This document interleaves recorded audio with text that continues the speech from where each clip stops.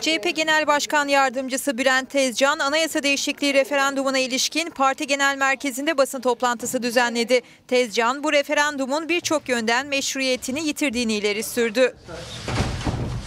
Merhabalar. Referandum açık oy gizli sayım esasına göre yapılmıştır. Yüksek Seçim Kurulu bu kanunun açık hükmüne rağmen arkasında oy pusulası olmayan, oy- sandık kurulu mührü olmayan oy pusulalarını geçerli saymıştır. CHP mühürsüz zarf sayısının 2.5 milyon olduğunu açıklamıştı. Tezcan, tansiyonu düşürecek tek adımın referandum oylamasının iptal olduğunu söyledi.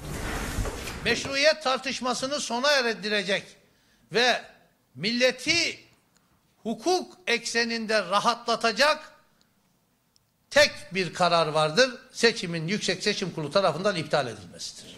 Tezcan, öncelikle usulsüzlük iddialarının geldiği ilçe seçim kurullarına başvuru yapacaklarını, sonuç alınmaması halinde YSK nezdinde girişimlerin yapılacağını bildirdi.